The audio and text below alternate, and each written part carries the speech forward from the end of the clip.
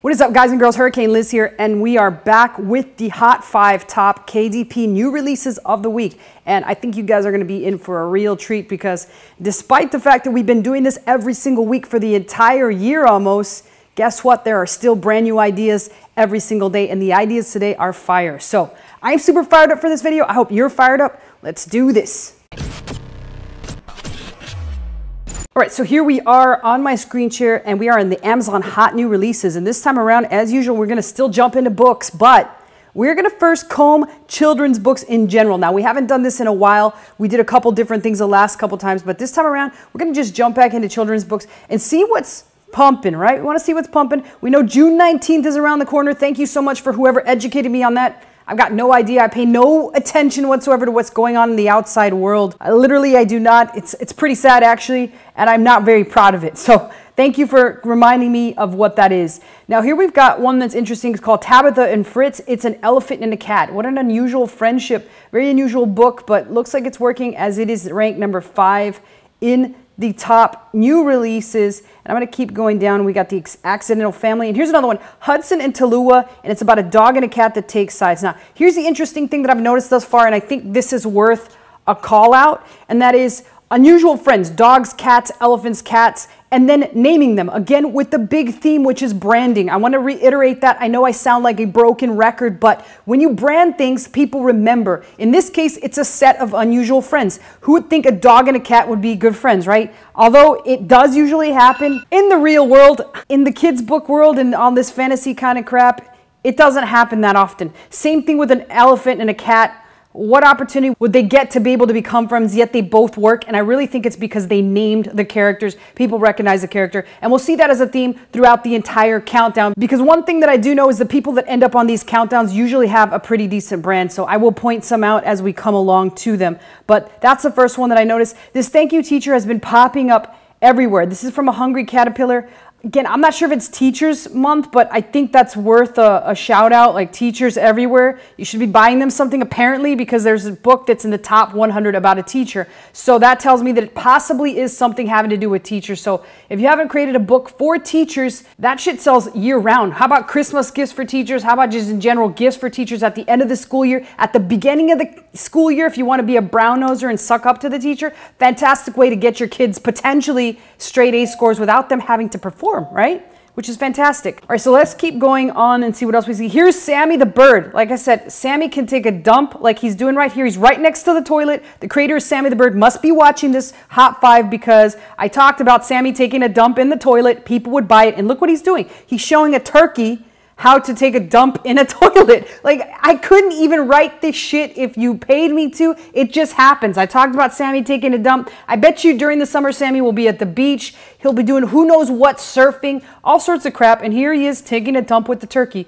And it's on the hot five. And the reason it's working is because Sammy has a brand. So Sammy lovers everywhere will pay for him to do pretty much anything. The guy's taking a dump with the turkey. Let me remind you about that. All right, if we keep going, here's another one for Juneteenth, which is called Stamped. And then we've got, again, the ugly books that have words on them that are quite funny. Here's this one, Welcome to Bikeville. Kind of reminds me of a biker thing. And here it is, Little Biker Crew or something to that effect. Can't read very well. You guys know I'm blind as a bat.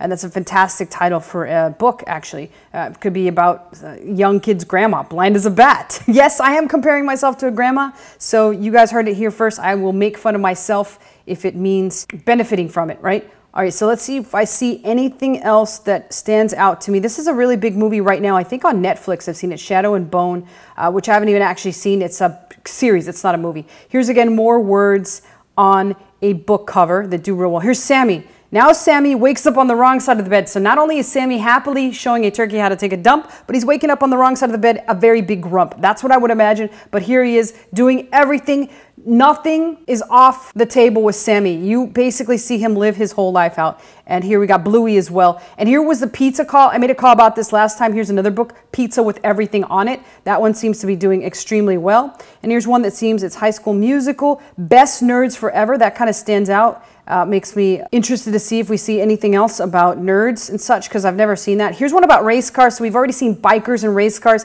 That could potentially be something, but I usually want to see a little bit more data on either one of the two, although they kind of are very much related. It's sort of like construction trucks. Kids love those. Kids love monster trucks, and we've seen a lot of books about both those subjects do extremely well. It's one of the similar things. So if you haven't done it, it's worth just taking a stab at it and seeing how well it performs.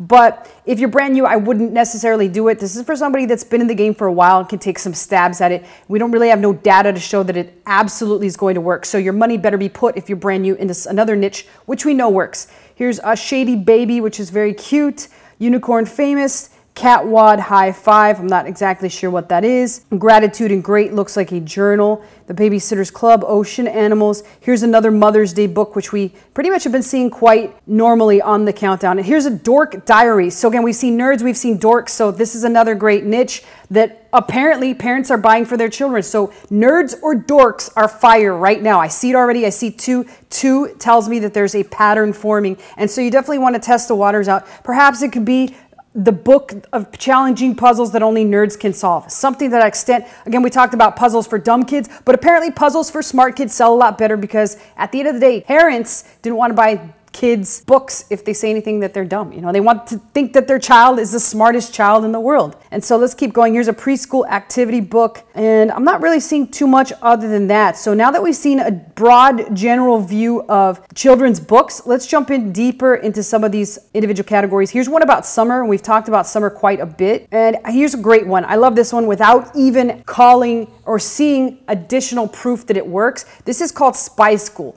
What kid has not wanted to be a spy? I know I wanted to be a spy when I was young, and I'm pretty sure almost every kid in America wants to. So I've not seen a spy activity book for kids, and I think that would be ingenious, and I think that would sell well because it will make kids feel like they're spies. And I think that is a sexy thing for kids.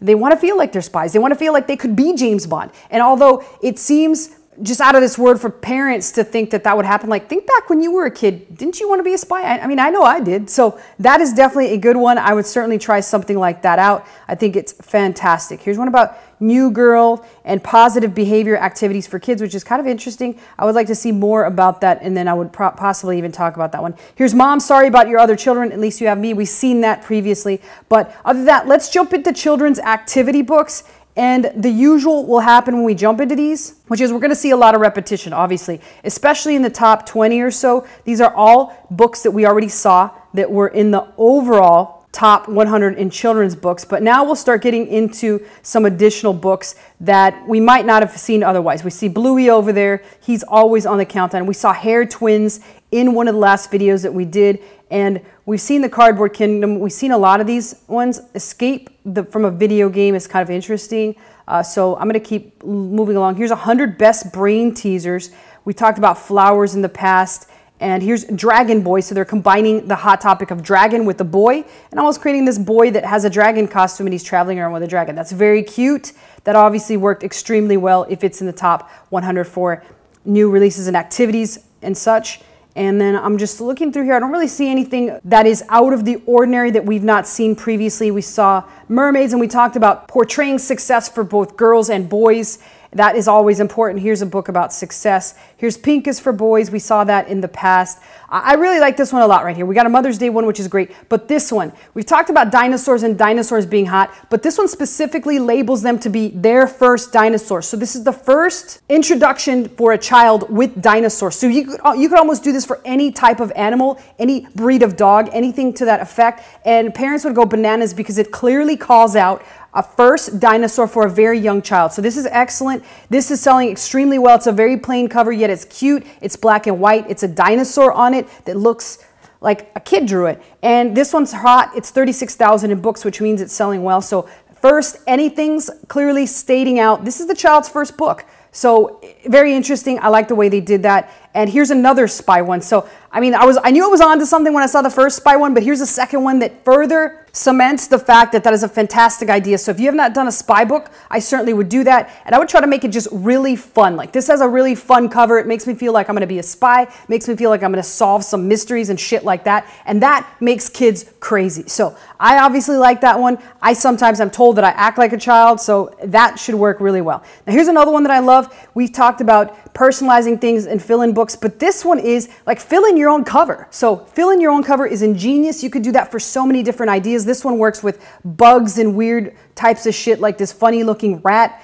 I don't even know what he looks like. He's just the weirdest looking guy. I don't know if this is a seahorse or I guess it's a seahorse. I don't even want to say what I think it is, but it's very interesting. And I think that this fill in your own cover is pretty ingenious. It's 37,000 in books, so it's obviously working really well. And then it's 12.99. So you might wonder, well, Liz, how would we fill in our own cover with a KDP book? Well, you you put all sorts of little crap around it like this, and then the front and in the center, you just leave it blank and you allow them to want to draw on it. So maybe on the first cover page, you put the blank thing that they'll stick on there and you make it a whole adventure and a whole activity so that the book becomes more interactive as opposed to just like, you know, boring old coloring and all that crap. So, all right, let's see if we find anything else. We got, again, wilderness and flowers and animal friends. And we've talked about all that stuff. How to draw a little bit of everything. That's for the the typical doodler who just likes to draw all sorts of crap. Now, this one's very plain. It's very bland, but look at this, 44,000 in books, 551 review. Words, I want my toddler to know everyday necessary life words coloring book. It's like so strange you can barely even read it and it's not just because i'm a blind bat it's just it's very unreadable but yet it did well and the title is just awkward and so long but it still worked out i can't imagine why but i would be willing to try this out with a couple other different things and see how it works perhaps a better cover but maybe it's just that title that's like so long and awkward and it's straight to the damn point that people just buy it i don't know it just stands out to me uh, here's cinco de mayo which incidentally it's cinco de mayo which is a great excuse for us to go get shit faced and drink a lot so i will be doing that tonight so we might not expect a video tomorrow, but at least somebody was kind enough to remember Nana on Mother's Day. So don't forget your Nana. If you do not do books for Nana or Grandma, make sure you add those. I will remind you by placing it on the countdown. So books for Grandma do extremely well, just as books for Mom do. So if you've left out your Grandma, Shame on you, shame on you, shame on you. All right, let's finish this off. I don't really see too much else that's popping up. Pick your own quests. We talked about these pick your own quests books before. And that's it. So that is a wrap. Hopefully you enjoyed this on Happy Cinco de Mayo. I got to get ready to head out to the bars. And I hope you guys have a safe and happy Cinco de Mayo. I will see you all next time. Questions and comments below. I probably won't get to them till tomorrow. But other than that, have a great day.